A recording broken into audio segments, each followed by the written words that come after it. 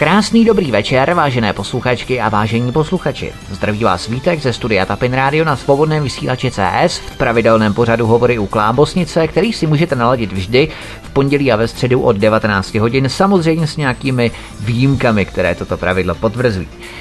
Hostů bude více v dnešním pořadu, protože my jsme se rozhodli, že uděláme takový kompilovaný večer, protože se toho ve Spojených státech amerických děje velmi mnoho.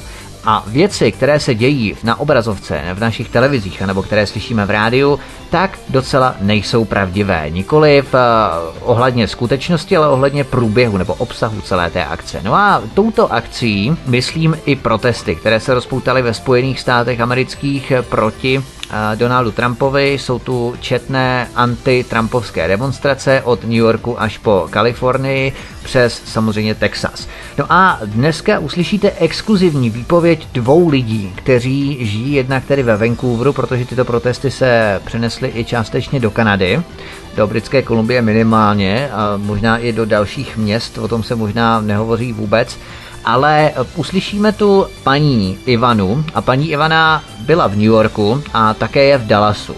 A mnohá média říkají, že ty protesty jsou veliké, masové demonstrace, že Amerika je rozdělená, ty protesty, že jsou gigantické. A vůbec to není pravda.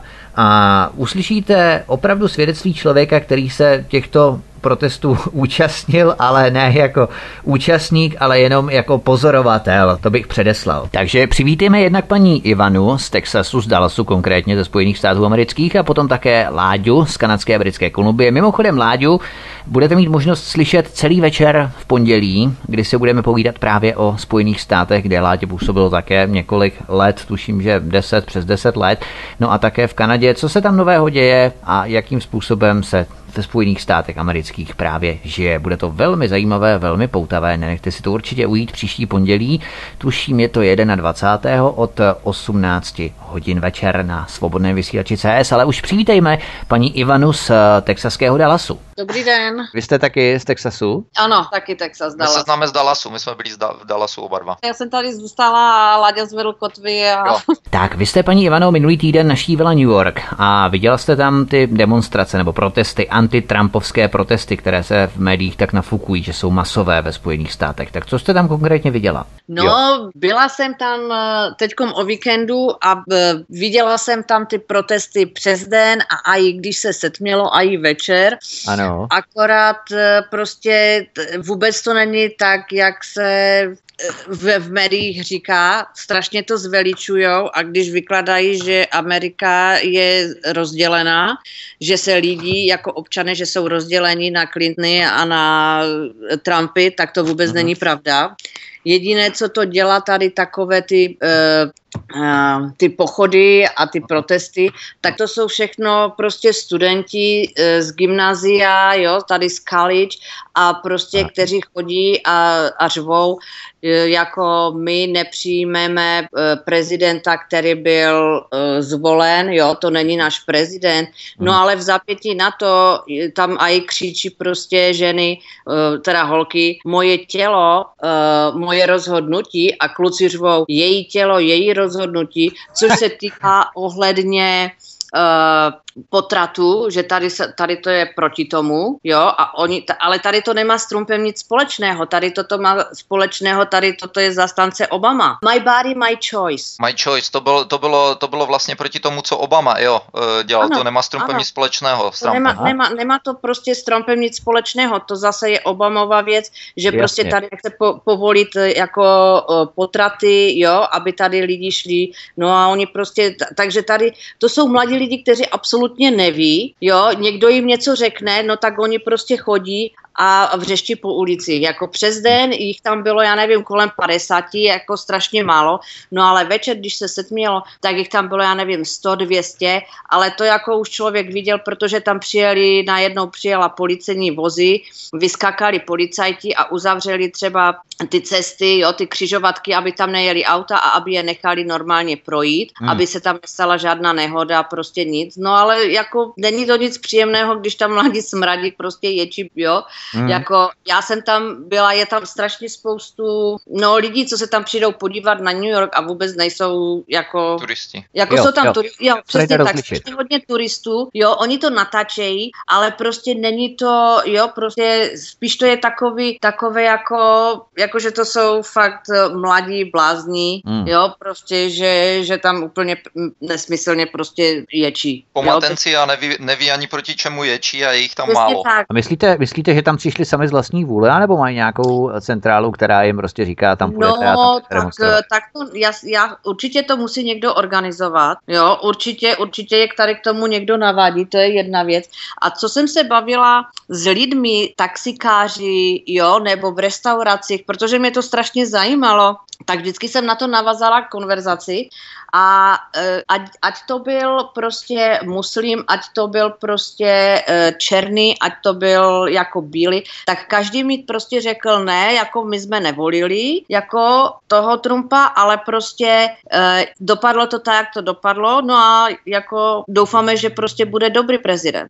A myslíte, že jo, jako prostě v New Yorku... Dospělí pracující lidi, jako tady toto na to nemají vůbec čas, prostě berou to tak, jak to je. Přesně tak, stejně jako možná ti duševně postižení voliči, kteří vlastně se teď léčí u psychologů, by možná si mohli odmakat tu duševní terapii na farmě Trumpových voličů a možná by to s nimi lépe dopadlo. No, jako, jako každopádně. No a myslíte ještě, paní Ivano, že ta demonstrace, respektive mini demonstrace, to vůbec nemá nic společného s tou Tea Party, byla to teda opačná záležitost, ale to Tea Party to bylo skutečně v tom roku 2010 masová demonstrace proti establishmentu, tady to je opravdu marginální záležitost teda, když to srovnáme s tím Tea Party. Jako určitě, protože jak, jak říkám, jo, dala se tady, vím, že to, jako v média to strašně nafugujou a dělají z toho prostě to, co, co prostě není pravda. Mm-hmm. Takže když se to médiím hodí, tak to vlastně marginalizují, jako byla třeba Tea Party. To nebyla masová demonstrace, ale teď, mm-hmm. když je to mini demonstrace, ale je to vlastně proti určitému diskurzu, který je veden v politice v rámci tedy určitého favorizovaného kandidáta, tak vlastně už najednou je to gigantická masová demonstrace. Prostě jak se to hodí, tak se to buď nafoukná, nebo zase naopak. Ano, ano. Jako média, jako můj ten, co jako já se na televizi už nemůžu dívat, protože média, eh, to je vidět, že prostě oni jsou vyloženě proti tomu Trumpovi. Hmm. Média americká mluví, jo? Ano, hmm. ano, jo. A myslíte, Takže paní prostě... Ivano, ještě, že no. jsou placení, tady totiž probíhají různé fámy 18 dolarů, že jsou placené tyto skupiny, myslíte, že to je pravda? Ono to je těžko říct, ono to je těžko říct, jako jo, jsou, já nevím, je to, je to těžko říct, to nemůžu posoudit. Je to, je to možné, ale jako nevím. Totiž na Fox News nějaký novinář, žurnalista přímo se nechal slyšet, že to jsou uh, v záležitosti placený Georgem Serešem už oficiálně. Proto, protože oni ukazovali vystřížky z Craigslist,u což jsou internetové jakoby inzeráty tady, tak oni, oni dávali kopie různých fotek z Craigslist,u kde nabízeli za 18 dolarů na hodinu, abyste, aby se zúčastnili prostě komparzu tam, jo. A vlastně, když byly ty protesty v Austin, jak jsem se díval v Texasu, tak tam vlastně hned někdo ten den dal fotky na internet, kde pár bloků zatím, kde byly ty protesty, stály autobusy přistavené. Jasně. E, a, ta, a říkal, že říkal, jako tohle není náhoda, tady je tolik lidí, na pro, e, co to protestuje, tolik těch mladých tam skákalo šašku a hned za rohem e, jsou řady autobusů, fotil tam ty autobusy, jo. Každopádně to je prostě organizované, jestli už to je placené nebo není, ale prostě hmm. někdo tady toto je, or, někdo to organizuje a nikdo jiný prostě to nemůže dělat, než mladí hloupé děcka, které jsou ve škole a které nemají jinak co jiného dělat. Ty, Láďo, pojedeš do Dallasu eh, koncem měsíce, takže tam můžeš umrknout, jestli ta koncepce té demonstrace, mini demonstrace jako v New Yorku tam bude stejná nebo větší třeba a tak dále. Jestli tam ještě nějaké budou, no já jsem teďka právě se bavil se známýma, oni říkali, že tam byla demonstrace v downtown Dallasu, ale že tam bylo snad nějakých 200 zoufalců hmm. a v jiných částech, jako okolo Dallasu, tam, že prý se to snad snažili svolavat, tam se vůbec nikdo neukázal, jako že to vůbec krachlo, že Jasně. nikdo o to neměl zájem. Prostě Dallas je jako Dallas, ale potom máš ještě další části Dallasu, jako je Plano, Richmond, Addison a pak máš, eh, pak máš ještě další, jako Forward. To jsou všechno města, to je všechno součást Dallasu, tak to myslím, jako jo, že v těch dalších částech o to nebyl zájem vůbec. Ono fakticky nejde srovnat 200 lidí u nás v Praze, kde je milion 200 tisíc lidí a v Dallasu 200 lidí, což je nesrovnatelný nepoměr, že jo? Mm-hmm. jo. Takže to přesně o tom vypovídá, že to je jako kdyby v Praze tady bylo, já nevím, 10-15 lidí na ten v poměru teda s, to, s tím počtem populace, která v Praze je a v Dallasu je. Akorát jsem byl s Mexikánama teďka svojima známýma, u nich mě pozvali na party, hmm. tak oni jsou totálně proti trumpští samozřejmě, protože Trump se dotkl Mexikánu, že jo, i když tady toto nejsou žádní nelegálové nebo něco, ale prostě asi si myslím, že se to, mám, ne, ne, neptal jsem se jich, ale musí, musí se to na těch možná Latino Networks nebo TV Networks, možná se to rozdmíchalo taky, eh, nějaká ta antitrampovská propaganda ve velkém, ne, nemám tušení, ale on mi říkal, eh, ten kamoš, který mě tam pozval, mi říká, amigo, je tady 20 Mexikánů, radši nic o Trumpovi neříkej. ale, no totiž ve státech teď byla zase další aféra, on Trump si dokonce stěžoval na Nevadu, na Reno a další města, že tam mohli volit a i další města v Kalifornii snad to bylo, že tam mohli volit i komunity, které vlastně neměly legální papíry a jenom tam udali vlastně své jméno ani číslo občanky, po nich nechtěli nic ano. a prostě mohli volit. No, jo, protože to ano, to bylo v Kalifornii, to Kalifornie udělala takový ten, že prostě i nelegálně prostě mohli volit, že? No. A nehledě na to, že teď prostě vyšlo najevo, že kdyby prostě, uh, že kdyby oni zvolili místo Clintonové Bernieho, Bernie Sanders, tak uh-huh. ten by jednoznačně vyhrál nad Trumpem. Takže vlastně to jako si za to můžou sami, že místo, místo, místo Bernieho, že prostě dali, dali Clintonovo. Oni se vlastně bojí, ty Mexikáni, že vlastně půjde po všech, ale ono je to tragický omyl, protože on jde pouze po ilegálních, že on nikoli legálních, tak pokud jsou oni tam legálně, no. což ta druhá, třetí generace je, tak nikdo jako nemá s nima problém. Jenomže pozor, on teď prohlásil v televizi, uh, já bylo 60 minut s ním rozhovor mm. a uh, právě se ho tam na to ptali, bylo to mám, já teď nevím, jestli to bylo dva dny zpátky nebo tři dny zpátky v televizi, a tak uh, on řekl, že ano, co se týká emigrační reformy, takže to bude dělat, ale že prostě chce, ti, co tady jsou legálně, teda nelegálně, ale co tady nemají problém, že on hlavně chce jít po těch, co to jsou uh, kriminálnici mm. a co dělají drogy. Takže to jsou na prvním místě, jo. A že ti, co tady prostě dělají a platí daně, jo. Ale i když jsou nelegálně. I když jsou nelegálně, mm. takže prostě pro ně něco chce připravit, že jako je nemíní vyhodit, že chce prostě skoncovat s těma, co prostě dělají drogy, jsou kriminálníci, vraždí, znasilňují, tak to je tady toto po těch on chce jít. Chce postavit tu zeď. Mm. Která už stojí stejně, takže. To on říkal jako to, jo, v některých místech tam prostě bude plot, jo,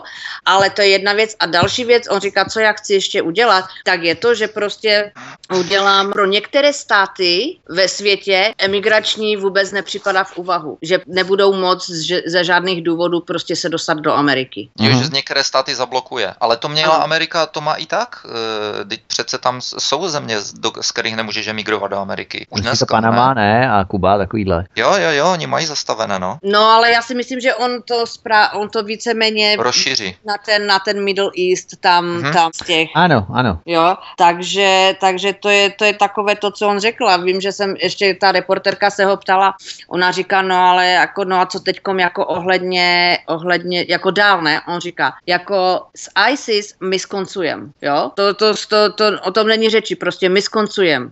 ISIS bude konec. A ona říká, no a jak to chcete udělat? On říká, no já vám to tady ale nebudu říkat, protože abych vám to tady měl říkat, to nikoho nemusí zajímat jak, aby se to ostatní dozvěděli. Hmm. Tak jak to bylo předtím, že se to vždycky řeklo a oni měli začas prostě včas. On říká, ne, já vám neřeknu prostě plán, jako jsou na to generálové hmm. a ti prostě udělají. Ona říká, no, ale ty si říkal, že ty víš o ISIS daleko více než ti generálové.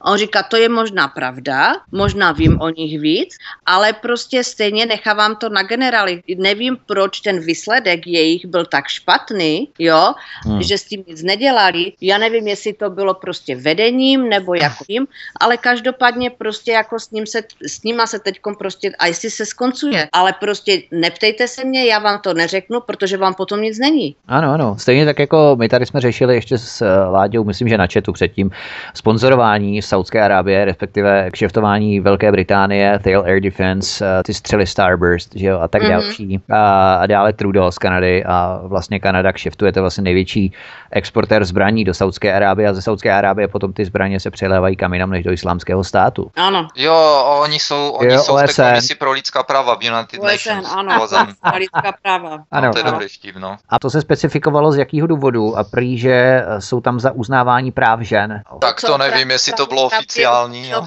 Ano, bylo. Dokonce se k tomu vyjadřoval iránský ministr zahraničí a náměstek iránského ministra zahraničí, kteří naprosto nechápali a s úžasem na tuhle zprávu hleděli. Myslím, že to bylo právě na Sputníku nebo někde, jo? No a, Rusko, a Rusko od tamtud vyhodili. Že Rusko, ano. to, to, to, tak... to je fraška, no, to je typicky fraška. No, jako je, je to postavené na hlavu celé, no.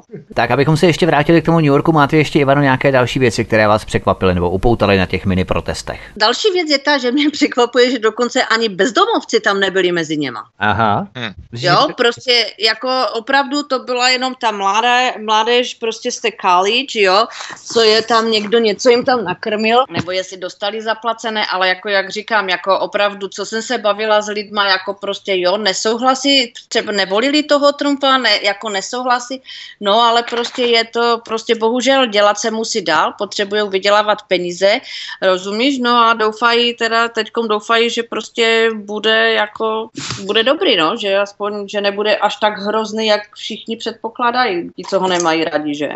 Takže ty demonstrace jsou tak marginálního charakteru, že tam nenastane co si jako stane právo martial law ve Spojených státech, kdyby vlastně Obama nemohl předat uh, Bílý dům uh, Trumpu toho 20. ledna 2017. No takhle, já si nemyslím, ale tady člověk nikdy neví. A pokud to je tak, že někdo prostě se snaží je platit a ty média to takhle zveličujou, hmm. těžko říct, spousta Američanů, oni jsou jako ovce, jo, hmm. že to, co je v televizi, tak to je pomalu svaté a prostě tomu věří a takže to je, ono to je těžko. A práce těch médií tedy spočívá v tom, že před volbami byly pro Clintonovská ryze tedy a teď, když ano. ví, že vyhrál Trump, tak stále se snaží nějakým způsobem rozkývat, rozstabilizovat tu funkci jeho nebo ano. výsledky. Ano. Takže pořád pokračují ano. vlastně v tom, co před volbama. Jo, ono to je, ono to je těžko, ale média mají strašně silnou moc. Tam jo? jo, v Americe jo, no. Tady v Americe jako prostě a jako spoustu lidí, když se jako když jsem se bavila, vždycky, když jsem v New Yorku a bavím se s lidma, tak se jim snažím prostě jako, že jsem z Evropy, že prostě mám trošičku jiný na, pohled na to, se na to dívám, jo, protože jsem tady nevyrůstávala, nejsem, nejsem tady jako typický Američan, takže to a když se začínám bavit o Evropě a jedno z druhým, tak oni tomu, oni říkají Ježiši, jo, a když se začínám bavit o Rusku, tak to oni úplně jako prostě, to, že to není možné, já říkám, no je to možné. Hmm, tak na programování vyloženě. Jo, jo, to jo si říkám jako ovce, ovce. Mm, jasně. Víš co, eh, víš co, já jsem zjistil, co jim tady uh, tloukli do hlavy, když jsem tady v Kanadě se ptal Kanaďanů, protože v Kanadě byla kanadská komunistická strana, že? A někteří lidi mi řekli, že byli členy té komunistické strany. No ale takhle jsem se ptal různě Kanaďanů, co teda ví o komunismu, když, když uh, uh, jako co jim bylo prezentováno. Jedna ženská se mě ptala dokonce, ona říká, no jak to bylo v tom komunismu, to jste si jako byli všichni rovní, tak to jsem vybuchl smíchem.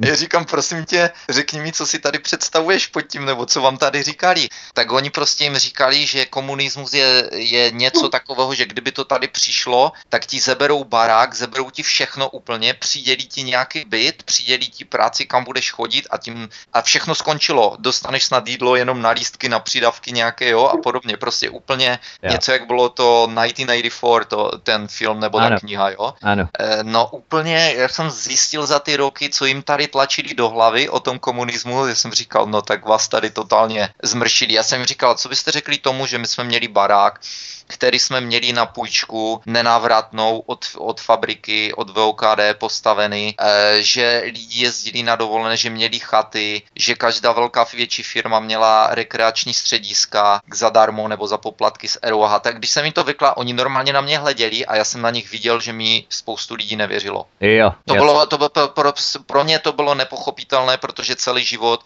jim tady bylo tlačeno, že tam v té východní Evropě a v Rusku ten komunismus, že to je prostě prvobytně pos pospolná otrokářská společnost a hotovo.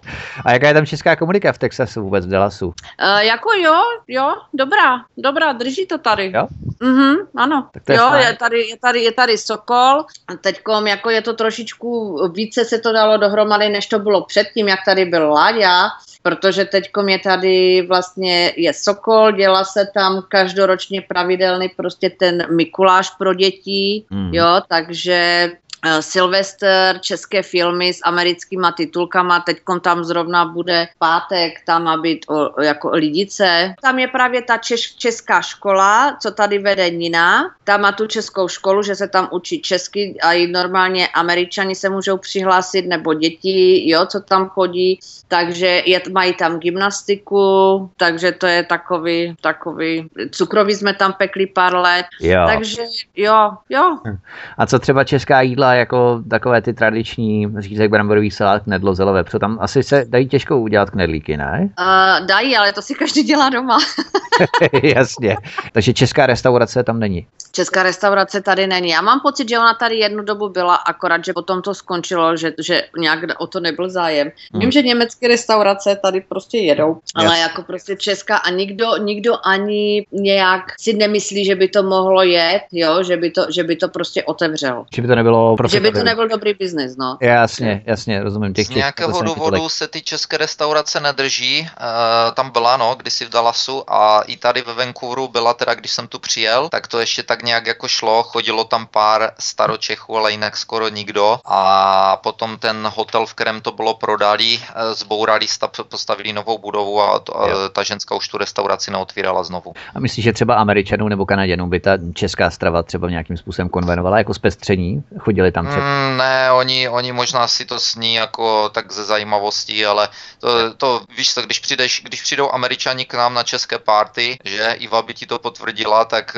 tak když přijde Američan, jak tam vidí, že tam je guláš, chlebíčky, tak on si veme chlebíček s gulášem a tak dále, jako kompletní, víš, neví, jak to jíst, jo? jo, takhle. A e, to takže udělá úplný zmatek a, a jako, že mu to strašně chutná, ale přitom naháže všechno dohromady a jo, jo. já si nemyslím, že oni by byli na to nějak jakoby zatížení. Právě proto možná to nejde, já nevím. Mm, to je pravda. Žádné restaurace i v New Yorku. Já jsem uh, teďka se díval vlastně, co byly v New Yorku.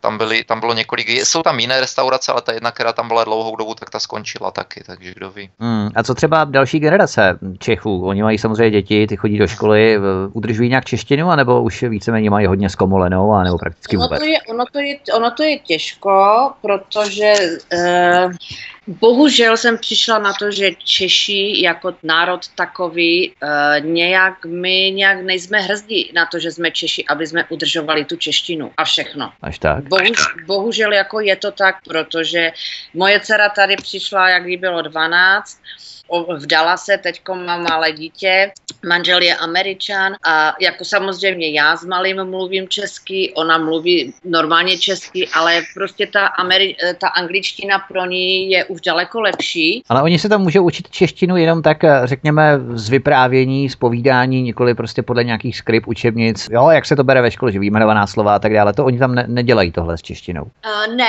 mám teď, uh, myslím si, že to dělá právě, co je ta otevřená ta česká škola škola v tom Sokole, co ta Nina to tam učí, tak ta, to tam, že tam, tam učí tu češtinu, jo, ale jak dalece ji učí, to nevím. Ale vím dokonce, že když jsme tam byli teď minulý týden, jsme tam byli pect uh, Mikuláše a čerty právě na, na Mikuláše, perníky, hmm. jak jsme to tam řekli, tak tam, ona tam zrovna učila jednoho Američana, ten se učil češtinu, to bylo, já nevím, jestli on měl kolem 27, 25 let. Jeho původem, já nevím, jestli vzdálená tetička nebo babička nebo něco, prostě byli Češi, do dneska žijou prostě ve Zlíně a on chce jet do Česka, prostě chce tam nějakou dobu bydlet jako a žít a poznat to Česko, co a jak, protože vlastně jeho, jo, že jeho předci byli Češi a že tam ještě má vzdálenou rodinu. Takže se učí česky, jako prostě chce to, ale mm, mm. jako moc, moc nějaký takový zájem, jako ten, ten není.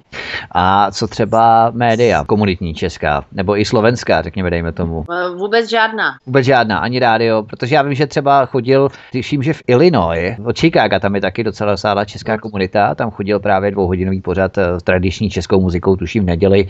U nás to bylo o 4 hodin, tam je o 6 hodin míň, takže někdy v 11, v 10 teda. Tam něco takového chodilo, nic takového není. Ne, ne. V Dallasu, ne. V Dallasu, no, kdekoliv ve státech, teď myslím, globálně. Toho bylo daleko více, protože tam bylo daleko více Čechů. Jo, tam, tam toho bylo, tam bylo strašně hodně obchodů a to tak, tam ta komunita byla daleko větší než, než tady v Dallase. Dobrý, tak jo, tak jo, já vám oběma děkuju a mějte se hezky. Není zač, vy taky. Tak jo, čau. Tak, to by bylo zhruba asi tak všechno v této části pořadu. My za malinkou chvilkou budeme pokračovat po písničce s dalším hostem Martinem Konvičkou, takže zůstaňte u svých přijímačů, dozvíte se velmi zajímavé věci ohledně tedy už České republiky. Měli jste možnost slyšet Láďu a Ivanu, oba byli dříve, jak jsme měli možnost slyšet, z Texasu, z Dallasu, Láďadný žije v Kanadě, v Britské Kolumbii, Ivana stále bydlí v Texasu. No a minulý týden naštívila New York, kde se zúčastnila jako pozorovatelka protestů, které zdaleka nejsou tak masové a tak obrovské, jak se nám snaží vylíčit média. Inu my, alternativci z alternativních zdrojů, opravdu čerpáme informace z našeho života, nikoli z života agentur. Od mikrofonu vás zdraví Vítek ze svobodného vysílače z dnešních hovorů u Klábosnice, no a po budeme pokračovat.